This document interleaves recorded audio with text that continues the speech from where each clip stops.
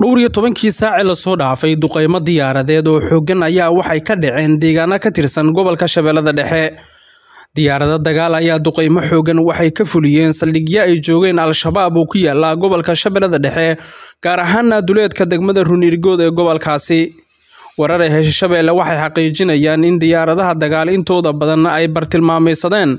deegaan lagu magacaabo sigata oo hoos yimaada degmada runirgood oo ka tirsan shabeellada dhexe waxaana halkaasi fariisimo ciidan ku lahaa xoogaga al-shabaab warar aan la xaqiijin waxay sheegayaan in halkaasi lagu dilay tobaneeyo ka tirsan al-shabaab laakiin saraakiil ka tirsan ciidamada xoogga dalka oo aan la hadalnay waxay xaqiijiyeen sugnaanshaha wararka la xiriira in duqaymo diyaaradeed ay ka dhaceen deegaan hoos yimaada degmada runirgood islamarkaana lagu burburiyey saldhigyo al-shabaab ay halkaa ku lahaayeen wararku waxay intaa ku darayaan in deegaanada la duqeeyey ay maanta sidoo kale lagu arkayo diyaarado dagaal oo joog hoose ku socda waxaana la aaminsan yahay inay eegayaan khasaaraha halkaasi ku gaaray al-shabaabkii lagu duqeeyey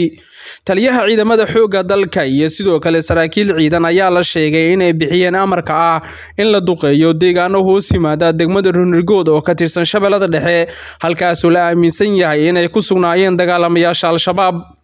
sarkaal ka tirsan ciidamada xoogga dalka oo ku sugan degmada runirgood ayaa shabeelle wuxuu u xaqiijiyey sugnaanshaha warka la xiriira in duqaymo diyaaradeed ay ka dhaceen gobolka shabeellada dhexe. Waxaanu beegsannay islamarkaana aan burburinay saldhigyo argagixisadu ay ku lahaayeen deegaan hoos yimaada runirgood khasaaraha dib ayaan ka soo sheegi doonaa laakiin waa xaqiiqo in dowladda soomaaliya ay halkaasi bartilmaameysatay ayuu yidhi. Sarkaal ka tirsan ciidamada xoogga dalka oo si gaara shabeelle ula hadlay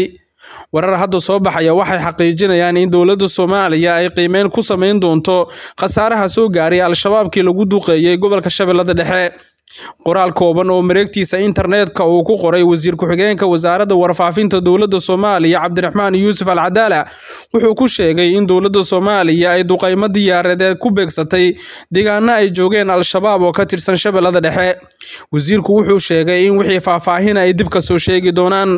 dowladda soomaaliya ayaa tiro dhowr jeera waxay duqaymo diyaaradeed ka fulisay shabeellada dhexe waxaana duqaymaha inta badan fuliya dowladaha saaxiibada la ah soomaaliya ee ka taageera dhanka cirka sida dowladda turkiga iyo dowladda maraykanka soomaaliya xilligan waxay u diyaargaroobaysaa wejiga labaad dagaalka ka dhanka al-shabaab kaasoo hadda qabanqaabadiisu ay ka socoto caasimadda galmudug ee dhuusamareeb khadar cabdiraxiin ibraahim shabelle t v muqdisho. Ku dooro xirmada bilaha unlimitedka adeega dhammays xawaaro sare iyo qiimo jaban. Ku shuba shan iyo toban doolar oo keliya oo hel unlimited data internet iyo ku hadal aan kaa dhammaanayn muddo bil ah uga shuba io dahab koodh nambarka xidig hal eber hal afar